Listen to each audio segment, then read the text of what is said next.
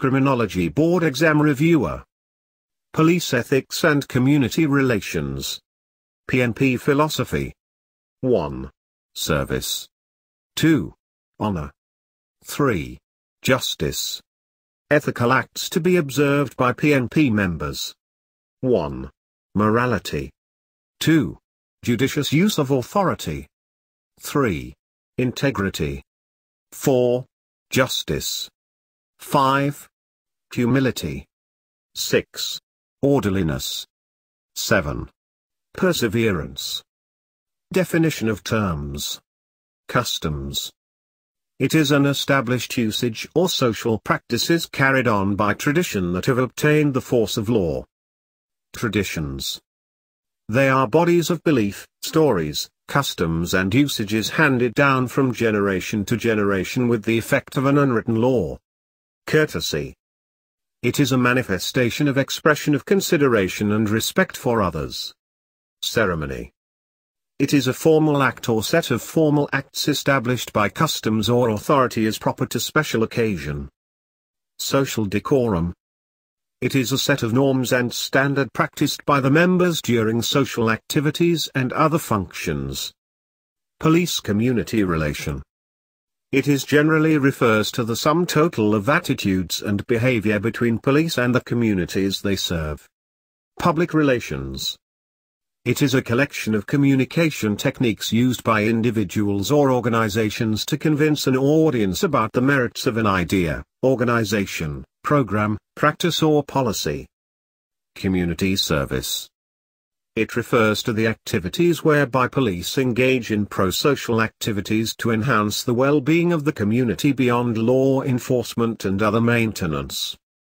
Community participation. It involves members of the community taking an active role in trying to genuinely help the police. Police traditions. 1. Spiritual beliefs. 2. Valor. 3. Patriotism. 4. Discipline. 5. Gentlemanliness. 6. Word of honor. 7. Duty. 8. Loyalty. 9. Camaraderie. Spiritual beliefs. It can refer to an ultimate or an alleged immaterial reality, an inner path enabling a person to discover the essence of his, her being or the deepest values and meanings by which people live valor. It is the great courage in the face of danger.